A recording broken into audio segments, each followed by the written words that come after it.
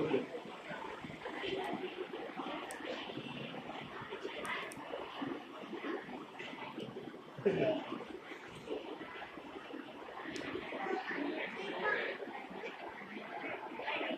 tập trung đến tập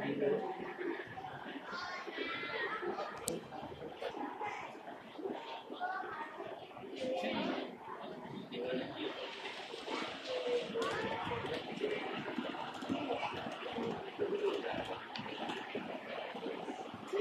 孙总孙总